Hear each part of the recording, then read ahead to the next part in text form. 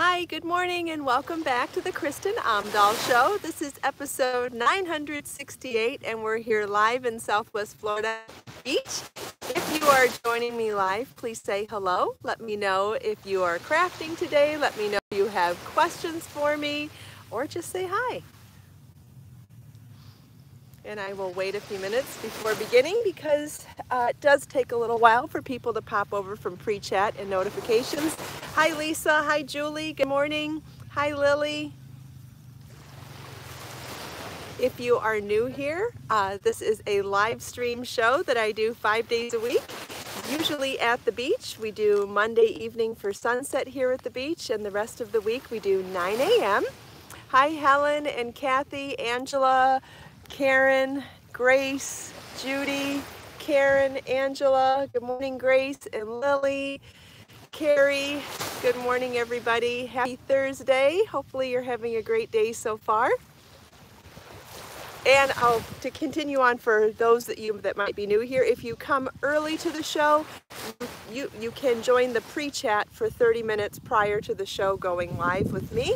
And if you would like to continue the party throughout the day, we now have the 100% private KO community forums on my website, so you can check that out. And you have if you haven't already introduced yourself, head over to the introduction topic to begin with. Introduce yourself, and I've written a post there to start with, giving you a coupon code to use on my website just for thanking you for joining the KO community forums. If you have questions about that, there is a blog post sharing a lot of the facts and there are there is also a topic sharing the rules, the facts, FAQ meaning frequently asked questions, and explaining that it's 100% private. Uh, also, there are some rules uh, just like with anything else, but they're pretty much common sense. Just behave and be nice, you know. Uh, hi, Donna. Good morning. Hi, Judy. Great, Karen. I'm glad you're enjoying making the Althea shawl. That's wonderful. That's one of my top-down knit shawl patterns done in number five bulky weight yarn. I did it in my Be So Easy yarn, which is so squishy and soft. Today we're going to talk about the Sweet Clara top and I'm wearing one of the versions right now. Hi Val, good morning. Hi Marcia, it's not hot here today, but it is over 90% humidity and it just it feels strange. Hi Marla and Barbara. So glad I found some waters in my bag this morning because the uh, it's so steamy here it just uh, makes me thirsty. Hi Marcia. Ah yay Donna fought, watched an episode of Knit and Crochet Now with me on it last night. That's great yay Yes, Knit and Crochet Now Season 12 is airing on PBS and Create TV throughout the country. You might want to check and see if it's uh, being aired in your area.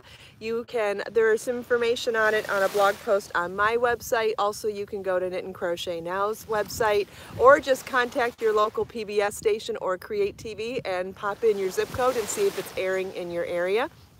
If it is not, you still have the opportunity to purchase and download each episode from Knit and Crochet Now's website, or you can order the whole season, or you can even order a box set of the entire season. And when you order it through the website um, from the producer of Knit and Crochet Now, Annie's catalog, you also get, uh, I think you also get the patterns as well.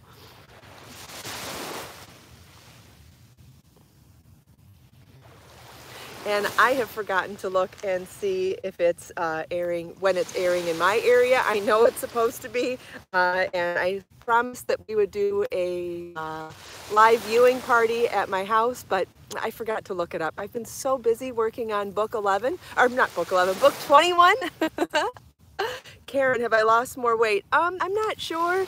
I weighed myself this morning and uh, I'm back down. I'm just at my lowest weight that I've been in a couple of years. So I'm 178, which is the lowest I've been in a long time, which means good news is since I've been losing weight, I haven't gained any more back. Uh, but I think I've plateaued there. Um, still eating mostly vegan and still doing yoga and exercise when I can, but we'll see. Yeah, I feel good. I feel healthy. Uh, I've been sleeping. I've been so tired lately. Last night I fell asleep at 8 p.m. That's so not like me. But I had prior to yesterday, I think I've worked way too many 18 hour days in the last couple of weeks trying to get book 21 finished and ready for editing and uh, I've worked way too much to the tune of hurting my forearm and my hand and my elbow so some sort of uh, overworked business going on in there. So I'm almost done. I'm on my last set of swatches for the reference section of the book, my last set of actually typing content for the manuscript. So I will be ready for photography and editing soon and those will take uh, those will give me a lot of rest for my arm so I just need to push through with one more I know not not the smartest thing to say uh, so I think that's why I'm extra tired lately anyway I um, uh, do I add protein powder to smoothies? No, I do not, Karen. For the most part, I eat whole foods. I do not eat processed foods, so I am avoiding protein powders as well since they are processed. And as far as uh, protein goes, the green leafy vegetables are higher in protein content than even steak.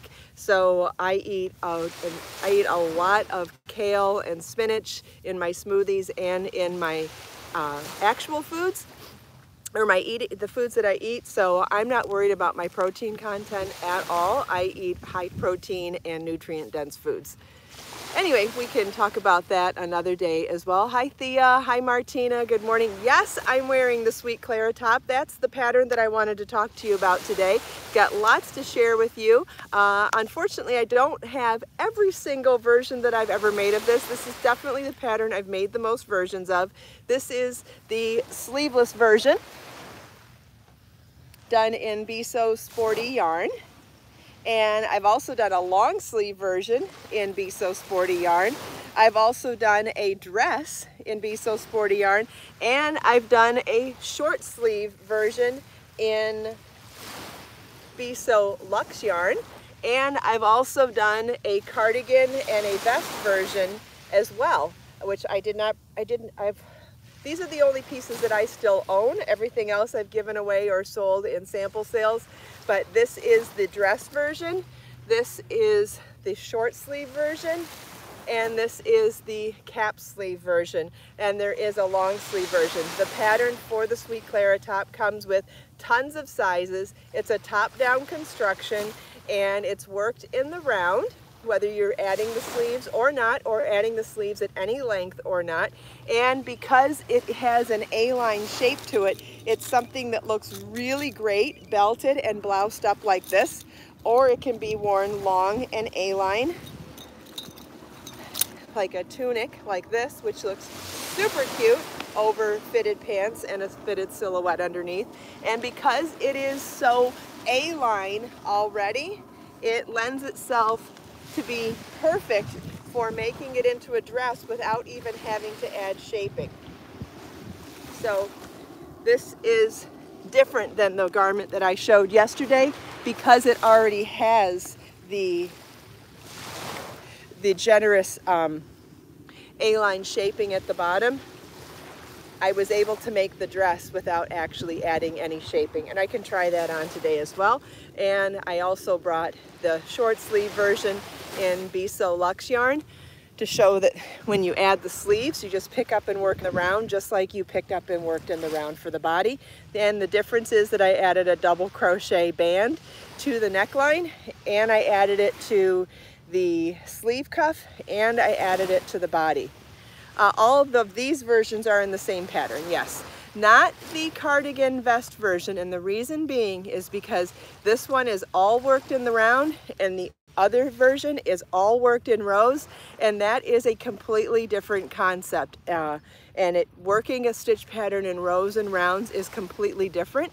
They're when working in rounds it's an even multiple and working in rows it's a multiple plus extra stitches. So to write the pattern is completely different and so the cardigan and vest version which I don't own the samples for anymore I'll make another one in uh, maybe in Be So Luxe or Be So Sporty yarn, I'm not sure. Um, those version, I would like a long sleeve cardigan or maybe even, I know the vest was very nice. I think I wore the vest. Which one did I ended up wearing? I know, I didn't really wear either of them. Um, anyway, so I'm trying to figure out which one I would wear more and that's the one I'll probably make. Anyway, does anybody have any, that's a great question though, because when something is worked in rows and rounds, it ends up being completely different type of construction and therefore it is a completely different pattern. Having said that though, this pattern, oh, is this all in the same pattern? No, the dress is a separate pattern on its own, uh, but they, but you could do it, it you could do it uh, with or without the pattern and you would only need one of the patterns whether you did the top or the dress. It ends up being uh, similar uh, yeah, if you like longer sleeves, then definitely make sleeves. And that's why I try to add sleeve instructions to most of my patterns whenever I can, because I know that everybody has different needs in their garments. And if people ask questions, I'm, so here's, I'll go back again and show you how to belt this.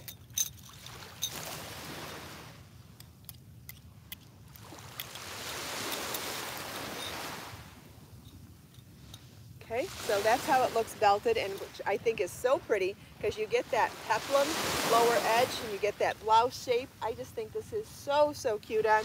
Now, I am wearing this over leggings today because I was trying to get, uh, I was really trying to get one underlayer for all of these tops and dresses and it didn't really work. Jeans I thought looked better with this top and with the black Be So Luxe version of the Be So Sporty top. But in order to try on the dress for you, I had to have on leggings or no pants, like a dress, and it didn't work for both. So first I'll try on the Be So Luxe version so you can see. Uh, yes, I have lots of stretchy belts in my Amazon store. In fact, I have one of those with me this morning. It's warm here. It's also over 90% humidity today, so it's very steamy. It's not, it's not like hot hot, but okay, so here is that, now you're not gonna see this one as much because I wore the black underlayer. I would have worn white jeans or denim jeans or something else so that you could see the texture better, but I'm hoping in the bright sunlight you can see it still. Isn't that cute with short sleeves? And I think from seeing the short sleeves, you can also see how nice this would look with long sleeves too. I did short sleeves, you could do three quarter sleeves or long sleeves. There's no shaping in the sleeves, so just make them as long as you want. And notice how it has a little more coverage at the neck, and that's because of the couple of rows of double crochet I added to the edge, to the top. So this top begins with foundation ovals, and I really liked this as an open wide neckline on my original version. But it, you know, there's, there's, is this a lace pattern? Yes, of course, yes. But uh, I also think that there's a reason to make something more than once so that you can add different elements to it. Uh, I just wish that I was wearing regular pants to show you the full beauty of this version. I also wanted to point out that uh, this shows you also that substituting same weight yarn with different yarns works. So for this version, I did this in Be So Luxe yarn. In the raspberry version, I did it in Be So Sporty yarn. They're both number two sport weight yarns. Be So Sporty is 100% bamboo and Be So Luxe is 70% bamboo, 30% cotton. And as you can see, I've got a really, really great look out of this one as well yeah, and I did those slight modifications to show you that you can you still have options even when making a pattern in the same size. You can make a tighter neckline. You could make a cowl neck. You could make a turtleneck on here. You could change the length of the sleeves. You could change the length of the hem also. I believe I made this one slightly shorter just because I wanted to. It's a top-down construction. You have that option. So now let's try on the dress. And just a quick reminder, if you're wanting to substitute Be So Sporty or Be So uh, Luxe yarn, both number two sport weight yarns. Uh, one of them is a bigger yardage than the other. Be So Sporty is 325 yards and Be So Luxe is about half of that. So you would need twice as many balls. Good morning. Good morning. How are you? Good. Good. You see Dolores Garden? I did. Thank you so much for sharing that with me. In fact, I'm going, are we're at the right number today, aren't, are we at number five? Right, yeah. Yep, Yep. I'm going to tell um, my audience about it today. Thank you so much. Bye. All right. I've got a great story to tell you about the guy that I just spoke to, and I'm excited to share with you. Just let's finish talking about Sweet Clara dress first. So, some of the differences on the dress are that I added this really beautiful edging to the bottom. Now, what I like about the dress is that it looks beautiful like this. It looks beautiful bloused up, just like the top, and it looks great with a jacket or like a jean jacket or a blazer over the top or even a cardigan over the top too. Or you know those cardigans that I like to wear where they tie in the front? This is a great layering piece. So even if you don't want to wear the dress exactly like this, and you want to wear another layer over the top, I've worn it with a blazer, I've worn it with a cardigan, I've worn it with my jean jacket.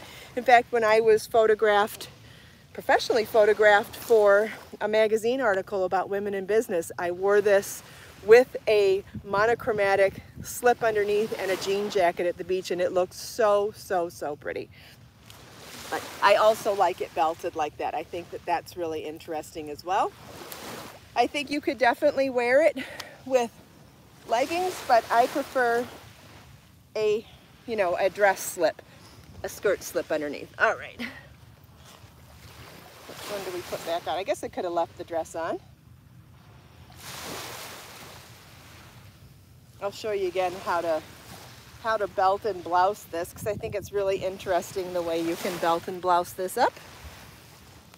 Super easy. Any stretchy belt, although you can use it with a regular belt too. It doesn't have to be stretchy.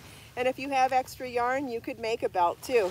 Shown lots of different ways to make belts over the years, including just with foundation ovals or foundation stitches. But isn't that flattering? You know, it actually looks like a more complicated construction once you belt something like that too. Okay, I've been busy, so I can't read all the comments when I'm busy like that. Does anybody have any questions about anything that I showed you this morning?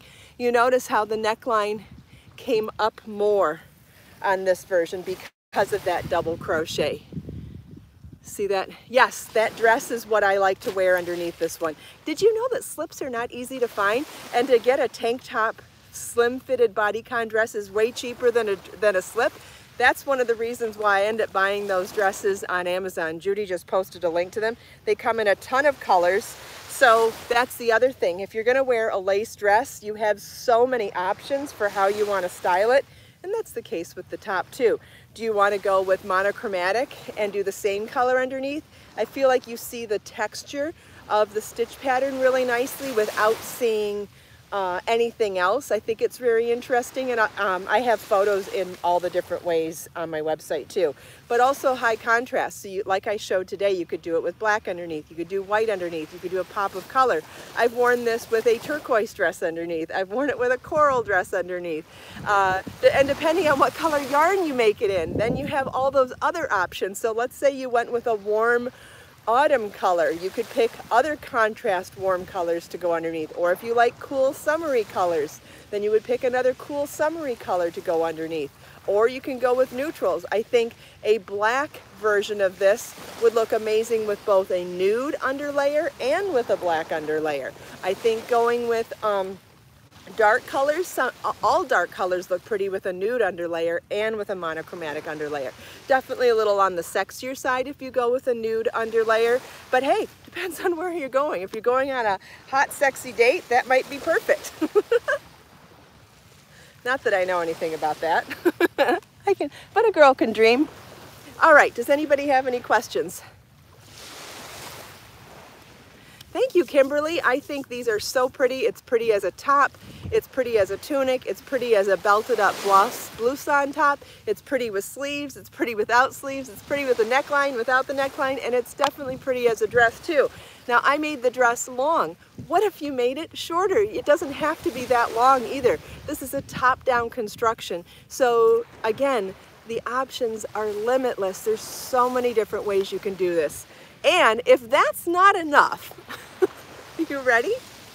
You could also make anything else in the round. Once you have that chart showing you how to do a stitch pattern in the round, uh, no, no man news. I'm saying a girl can dream, that's all. So in this pattern, there's chart and written instruction for working even in the round. There's information for working increase in the round for the yoke, but then working even in the round for the body. So what can you make with that? All kinds of things, right? You can make a bag, you can make a cowl, you can make a hat. There's so many different ways to do that. Yes, exactly, but wait, there's more. Too bad that, uh, that phrase wasn't trademarked, but it's trademarked by one of my favorite people in the world, Ron Pope. How do you say his last name? Oh my gosh, Ron Popeil, the, the father of infomercials. And I gotta tell you, I love infomercials and I certainly loved him. I loved the way he used to say that, loved it so much. And uh, thank you, Kimberly. Oh yes, the guy, the guy that was here, yes. He came up to me the other day after the show and he goes, aren't you the person that used to do a show on Vanderbilt Beach? I said, yes, I used to uh, go to Vanderbilt Beach, but I struggled finding parking some days. And uh, the day, eventually I found this beach, Wiggins Pass, and I fell in love with how rustic and natural and amazing it is and especially the driftwood forest. And he goes, I know this is a special place. He goes, every time I come here though, I go to this little garden area to read the story of how Delnor Wiggins Pass Beach began.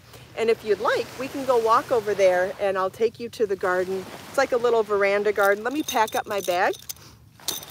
And once he told me about it, I uh, went over there immediately and I promised him and I promised myself that I would take you guys there too because it's an interesting story. Uh, so this property was named after a woman, Della Rose Norris, and uh, we'll talk more about it as we're headed over there. But I think it's, I think it'll be fun to show you the spot that he shared with me.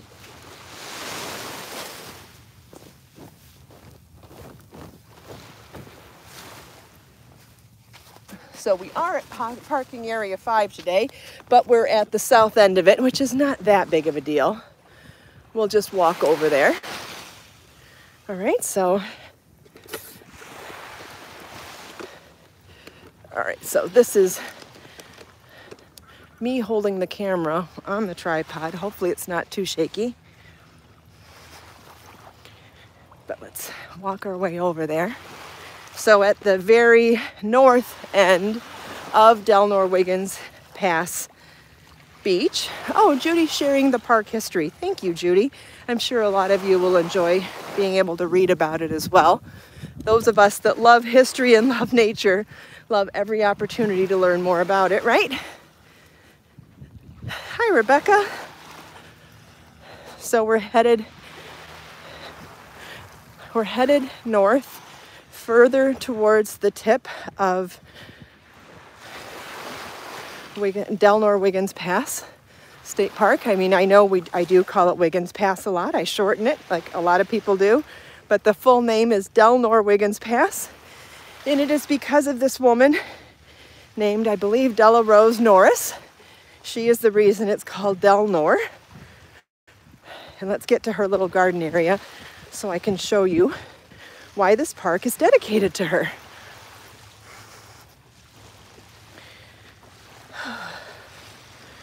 Uh, going back to what we were talking about though on our way there.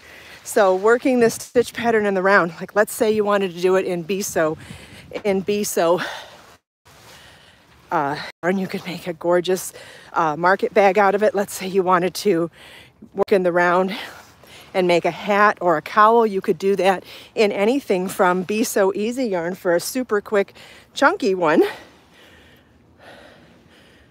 Oh, so pretty. Yeah, no thank you. I'm not walking that way.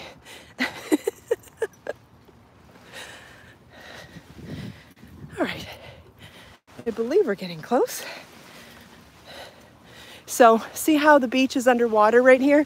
Depends on the tide. It's high tide right now. On low tide, you can actually walk all of this way along the beach. But in high tide, no. So pretty still though, isn't it? We've done lots of, oh, you'll, you'll see what I'm saying when we get to the driftwood forest up here. You can see that a lot of it's underwater this morning too.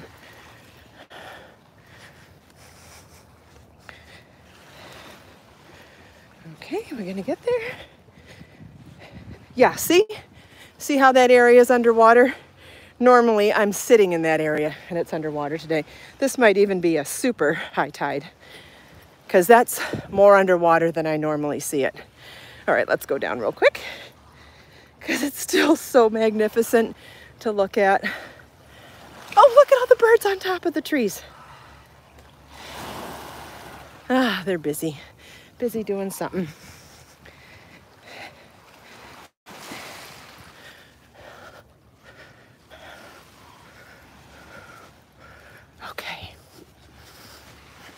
Oh, excuse me. No, you're good. You're good.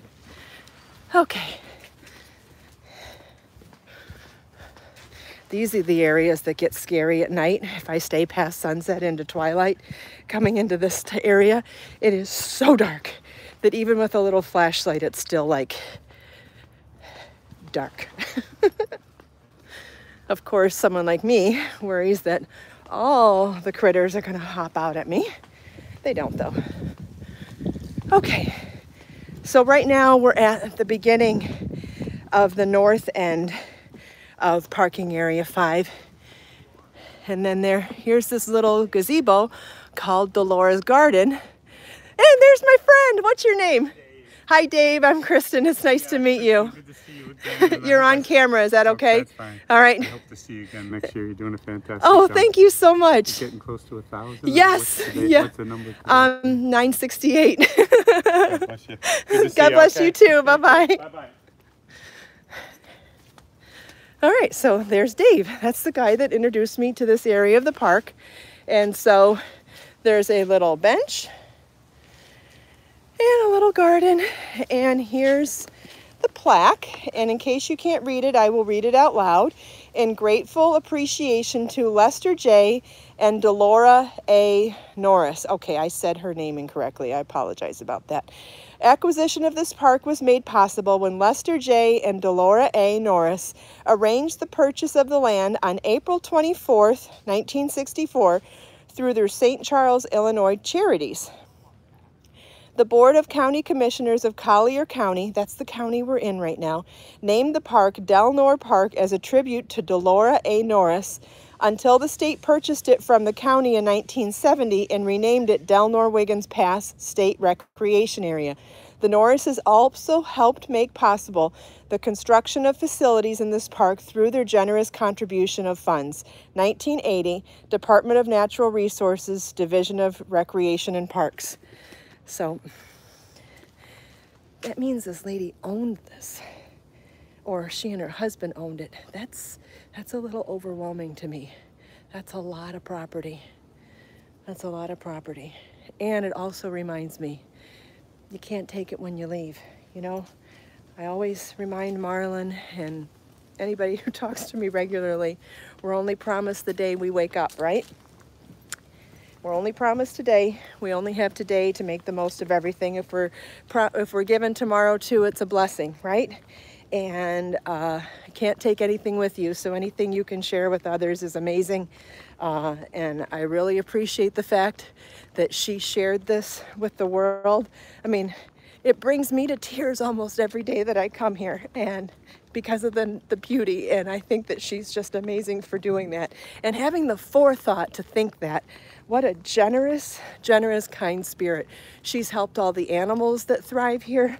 She's brought so much joy to so many people's lives by creating this park. So I just, I thought it was worth giving a shout out because she could have very easily kept it in her family and built a big mansion here, you know, or, or built a community here. There's so many things she could have done with it before she passed. And uh, the fact that she did that, just amazing. Isn't that lovely? So anyway, oh, we're now in the parking lot. Not so exciting, I know. But thank you all so much for taking time out of your busy day with me. I hope you enjoyed all my sweet Clara talk and the view, the scenery, the birds, the beach uh, chatting with me and everyone else here. Let us make time to create, share, and inspire today and every day. And if you would like to continue the party, head on over to the KO Community Forums on my website. It's 100% private, and you can chat with anybody and everyone there throughout the day as well. I will see you tomorrow for the next episode of the Kristin Omdahl Show. Bye, everybody. Have a great day.